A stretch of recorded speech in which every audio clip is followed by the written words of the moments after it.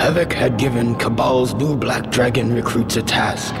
Lure the heroes away from the Dragon King's corpse while he somehow retrieved the heart.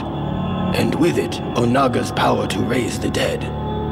Apparently, Onaga's ancient army had only been invincible by means of constant resurrection during battles. The power to raise the dead would prove quite useful to the Black Dragon clan. Kabal slew Havik and took the Dragon King's heart for himself. Havik was most impressed.